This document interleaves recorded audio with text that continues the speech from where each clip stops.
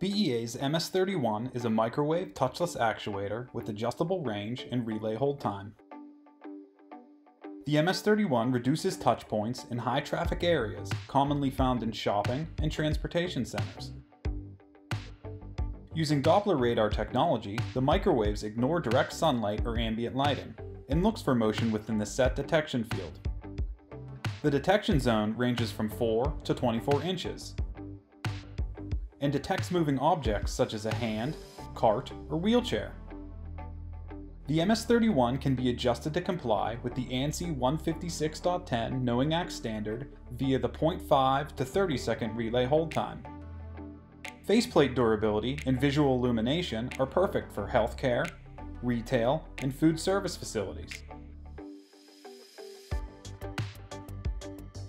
The MS-31 is available with various artwork options in black, gray, or white faceplates, with the following size options 6 inch round, jamb style, double gang, and single gang.